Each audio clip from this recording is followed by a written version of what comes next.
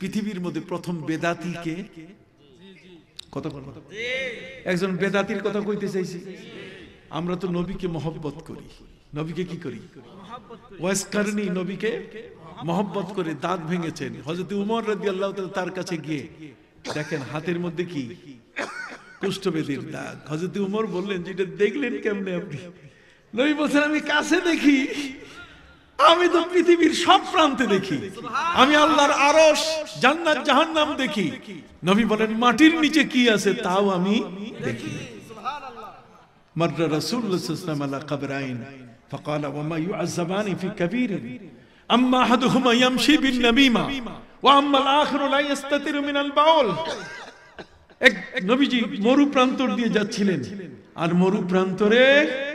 তিনি হঠাৎ করে তার উষ্টি বসে গেল যে উটটার উপরে তিনি আরোহণ করেছিলেন। সে উটটা কি? উষ্টিটা বসে গেল না কায় কাসওয়া বসে গেল। নবীজি সাহাবীদের বললেন যে, তোমরা বলতে পারো আমার উটটা বসছে কেন তারা বলছেন, না হুজুর, আমরা জানি না। আল্লাহ আল্লাহ রসুল ভালো জানেন। আলাম ভালো জানেন, ভালো। ভালো মানে সাধারণ ভালো না। আলাম মানে বেশি ভালো জানেন। বেশি ভালো জানেন। সবচেয়ে ভালো জানেন। সবচেয়ে বেশি জানেন। ইসমে সিগা। কিসের সিগা? আল্লাহু এখানে আল্লাহ এবং দুইজনকে আনা হয়েছে, এটা নয়। কথা কথা তাহলে সমস্ত মিথ্যা হয়ে যাবে। নবীজি বলেন, আমি আর আমার আল্লাহ ভালো জানেন। আমি দেখতে পাচ্ছি মাটির নিচে দুইজন ব্যক্তির কবর শাস্তি হচ্ছে। একজন হলো আম্মা আহাদুহুমা ইয়ামশি নামিমা। একজন হলো সুগলখোর খালি পিন মারে। দুই দোকানদারের মধ্যে, দুই ব্যবসায়ীর মধ্যে, স্বামী স্ত্রীর মধ্যে কেমনে কি তফাৎ সৃষ্টি করা যায়, গন্ডগোল সৃষ্টি করা যায়, দুইজনের মধ্যে শত্রুতা তৈরি করে এর কবরে শাস্তি হচ্ছে। আরেকজন কয়েকটা পেশাব করতে যাই নিজকে বাঁচায় না। পেশাবের সিটা নিজের গায়ে পড়ে। যেমন বর্তমান সময়ের আমার যুবক বন্ধুরা, তোমরা জিন্সের প্যান্ট পরবে না। জিন্সের প্যান্ট পরলে দাঁড়াইয়া ব্রাশ ফায়ার করা ছাড়া উপায় নাই। বসে বসে জীবনে পেশাব করতে পারবে না। আর বিজ্ঞানীরা বলছেন, দাঁড়াইয়া পেশাব করলে অল্প দিনেই তার কিডনি নষ্ট হয়ে যাবে। কিডনি বেশি দিন টিকবে না। পেশাব করতে হবে বসে বসে। এটা শালীন নিয়ম। নবী করিম সাল্লাম তিনি বসে বসে পেশাব করছিলেন। একজন সাহাবী, হযরত মুহাজির ইবনে কনফুস, তিনি বলেন, দুইজন ব্যক্তি দেখে বলছে, ইয়াবুলু কামা তাবুলুল মারাত। দেখো নবীজি, বসে বসে পেশাব করছে, যেমন মেয়েরা পেশাব করে বসে বসে। নবীজি উঠে বললেন যে, দেখো, ইসলামের পেশাব, এর শালীনতা আছে। আল হায়া ও শোবাতুম মিনাল ইমান যেটা দাঁড়াইয়া পেশাব করে, ওটা কুত্তা। ওটা কি? কুত্তা। একখান ট্যাং উঁচা করে তারপর সাইরা দেয়। কতক্ষণ না? একখান ট্যাং উঁচা করে তারপর কি? সাইরা দেয়। যুবক যারা আছো ভাই, এ কাজ কি করব আমরা? হাত উঠাও দেখি তোমাদের সাহস থাকলে। আর কি কুকুরের মতো পেশাব হবে? কুকুরের মতো পেশাব হবে? না, আমরা কুকুর না, আমরা কি? আশরাফুল মখলুকাত, পৃথিবীর আমরা শ্রেষ্ঠ জাতি। কথা কি বুঝে গেছে? নবীজি সাল্লাম বললেন, এই মাটির নিচে দুইজন ব্যক্তির কবরে কি হচ্ছে? শাস্তি হচ্ছে। একজনের সুগলখুরি আর একজন পেশাব থেকে নিজকে রক্ষা করে।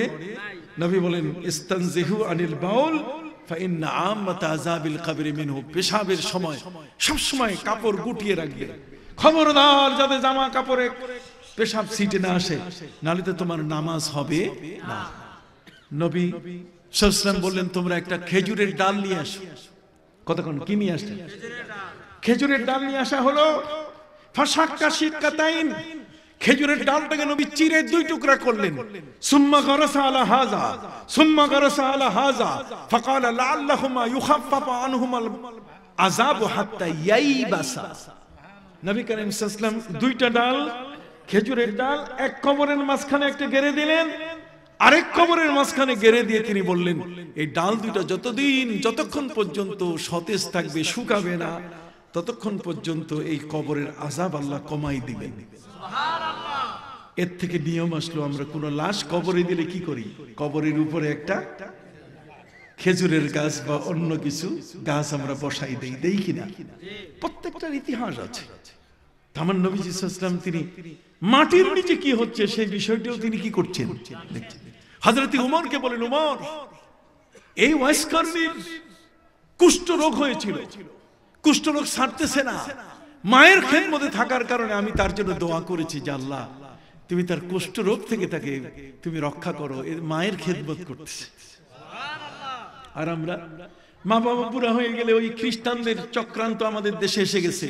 ওল্ড হোম বৃদ্ধাশ্রমে তাদেরকে পাঠাই দেয় বছরে একটা লাল ফুল নিয়ে বলে, বাবা, এইটা তোমার জন্য। Bye bye bye bye. বাবাকে বাই বাই দিয়ে চলে আসে। আর বাবা মা কপালে হাত দেয়, হায়, এই সন্তানকে আমি এমএ পড়াইলাম। এটার স্ট্যান্ডার্ড চার্টার্ড ব্যাংকের এত বড় অফিসার বানাইলাম।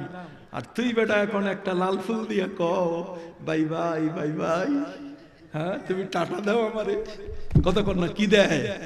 টাটা দেয়। কোন কুলাঙ্গার এই ধরনের সন্তান যার কপালে তার দুঃখের শেষ নেই।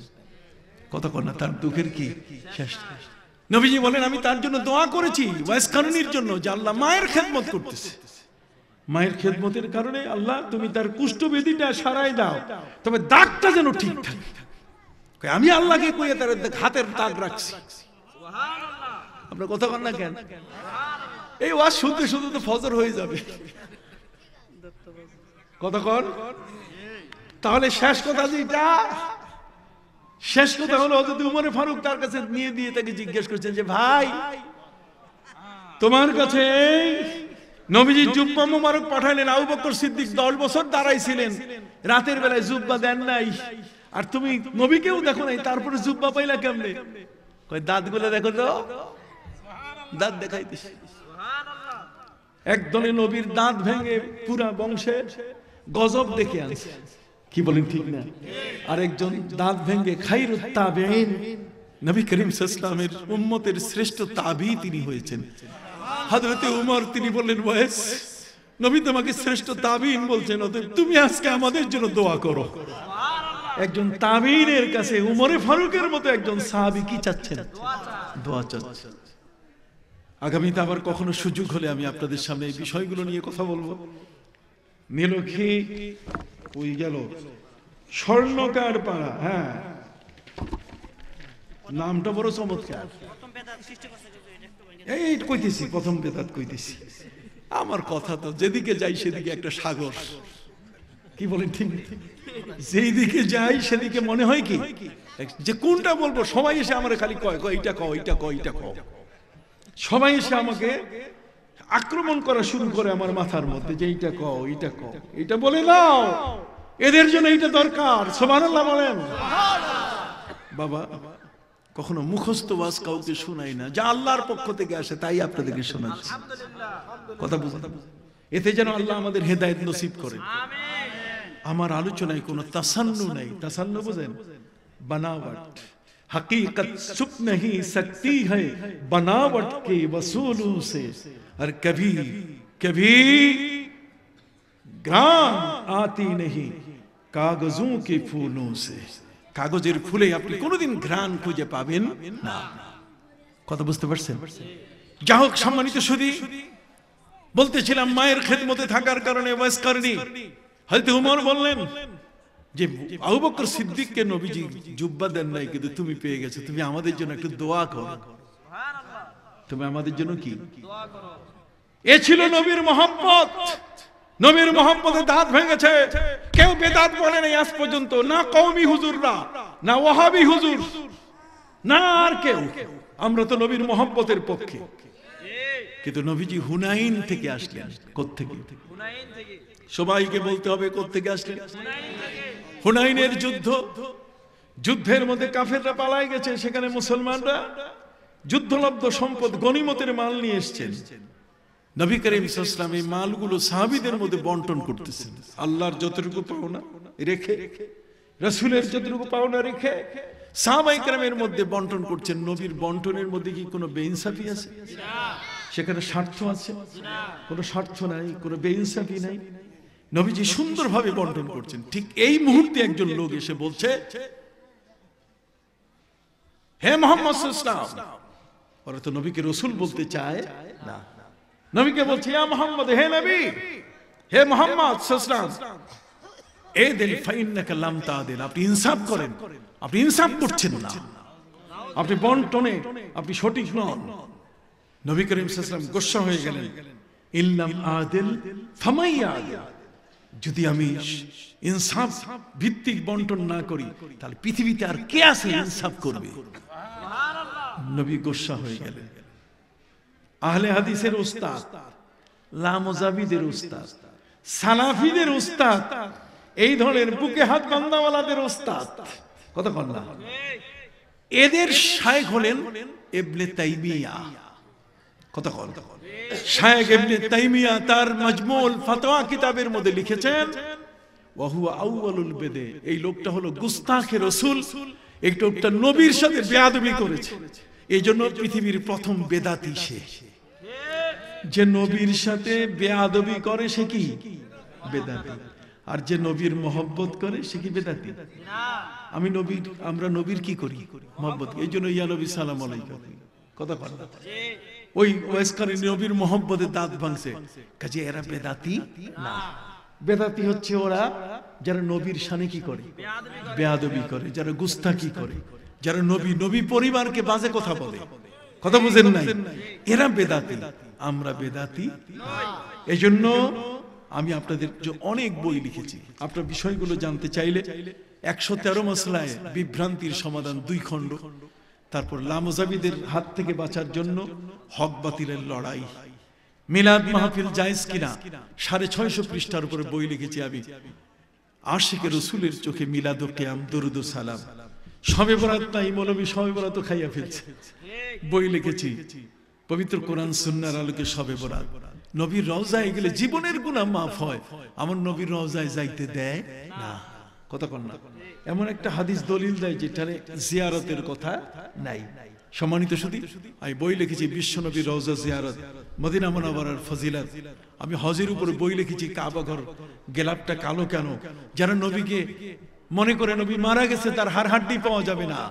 আমি বই লিখেছি, রওজা মোবারকে জিন্দা নবী। আর ঘরের মধ্যে বউ ঠিক না থাকলে ঘরে শান্তি আছে। ছেলের বউ আনছেন স্কুল, কলেজ, ইউনিভার্সিটি, পড়ুয়া। একদিনও কোরআন হাদিস পড়ে নাই। ফলে সে পাক না পাকি কতটুকু বুঝবে, স্বামীর কদর আর শ্বশুর শাশুড়িকে কতটুকু বুঝবে? অনেক স্ত্রী, অনেক বোন ঘরে বসে মশলা জানতে চায়। এই জন্য জন্ম থেকে কাফন পরা পর্যন্ত সাড়ে ছয়শো পৃষ্ঠার আমি বই লিখেছি, নারীর অলংকার। কি বই? নারীর অলঙ্কার যাতে করে এগুলো আপনার ঘরে থাকে, আপনি যেন এগুলো পড়ে পড়ে ঘরটাকে সুন্দর করে নবীর প্রেমিকদের ঘর বানান। আল্লাহ কবুল করুন সকর আমিন। আসুন দাঁড়িয়ে নবীজিকে একটু সালাম দিয়া নবী।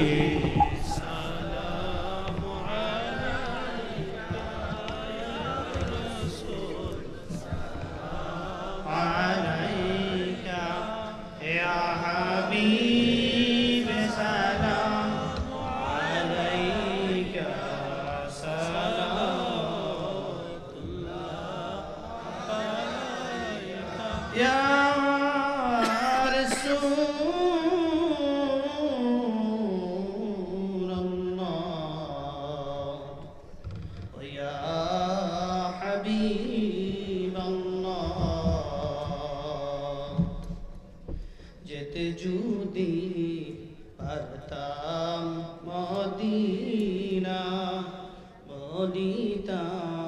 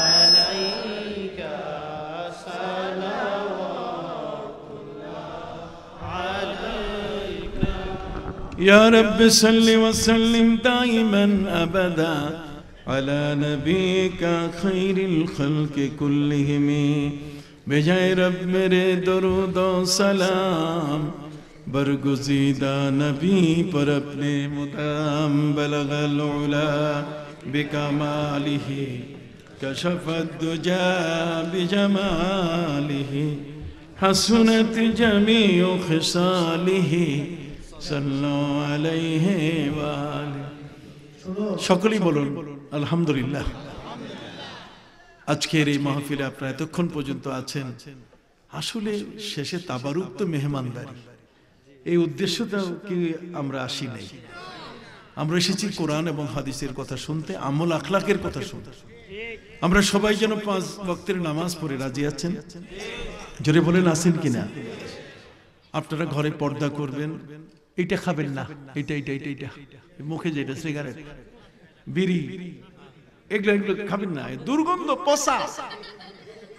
কি বলেন ঠিক না? এইটা একেবারে গুয়ের সে খারাপ গন্ধ। এটা খাবেন না। এটা খাবেন না। এটা জাহান নামটা মুখের মধ্যে আপনি নিবেন কেন? কথা কথা এটা হলো এটা ক্যালিফোর্নিয়া থেকে এই বিড়ি জন্ম নিছে। বিড়ি, তামাক থেকে ইয়ে করে অনেকে বলছে এটা হচ্ছে শয়তানের পেশাব থেকে বাইরেছে তো শয়তানের পেশাব থেকে এইটা বাইরেছে এইটার পল্টাইয়া একজন সাহেব, ওই যে আমেরিকান সাহেব ক্যালিফোর্নিয়া এটা খাইয়া ধোঁয়া সারা শুরু করছে। সাথে যে তার কর্মচারী ছিল, দেখেই সে চিৎকার স্যারের পেটে আগুন লাগছে। স্যারের পেটে কি লাগছে। তাড়াতাড়ি কোথায় পানি পাবে? গেছে বাথরুমে। বাথরুমে তো পানি পায় না যে পানি। এত সুন্দর বাথরুম তো ছিল না পেশাব পায়খানা মাখা। ওগুলো সে স্যারের মাথায় দেওয়া শুরু করছে, যে স্যারের পেটে আগুন লাগছে স্যারের নাক দিয়ে ধোঁয়া বাইরিতেছে। কথা বলো, এটা খাবেন না? এটা খাবেন? বুদ্ধিমান মানুষ কখনো এটা খায় না। এর প্যাকেটটার মধ্যে লেখা আছে, ধূমপান বিষপান কি বলে? স্বাস্থ্যের জন্য কি? ক্ষতিকর। লাঞ্চটাকে নষ্ট করবেন, খবরদার খাইয়েন না। কয়েকটা বই লিখেছি, এই যে জান্নাতুল বাকি কবরস্থান যারা হজে যান, ফিরে আসেন, তারা অনেকেই জানেন না যে কি জিনিস। এরপরে আরও দুই তিনটা বই গেল কোথায়? জমজম কূপের কথা হাজরে আসওয়াদ মাকাম ইব্রাহিম, অনেক বই লিখেছি, প্রায় একুশটা বই। দোয়া করবেন, একটা তফসির আমার আসতেছে, আলহামদুলিল্লাহ। পৃথিবীতে তিরিশ পারা কোরআনের তফসির লেখা হয়েছে, তিরিশ খণ্ডে। আর আমার একশো চোদ্দটা সুরার একশো চোদ্দ খণ্ডে, প্রায় দুইশো খণ্ডে একটা কোরআনের তফসির আসতেছে। পৃথিবীতে কেউ লেখে, আমার সাথে গাড়িতে আমার নিজের ল্যাপটপ আছে, আমি নিজেই, এই বইগুলো সব আমার নিজের টাইপ করা। এটা কোনো টাইপিস্ট টাইপ করে নাই টাইপার টাইপিস্ট আমি কিন্তু। কথা বুঝতে পারছেন? এগুলো আরবি, উর্দু, ইংরেজি, বাংলা, এই সবগুলো আমার নিজের হাতে টাইপ করা। তা আমার নিজের হাতে টাইপ করে এখন আপনি চিন্তা করতে পারেন কত দরদ দিয়ে এটা লিখছি। আমার খাদেম, গাড়ি, এগুলো টাকা পয়সা দিয়ে নিতে হবে। বইও মোটা, দামও মোটা আছে। আপনারা যে যতটুকু পারেন নেবার সুযোগ নেবেন। এরপর সভাপতি মহোদয় আছে, বলুন।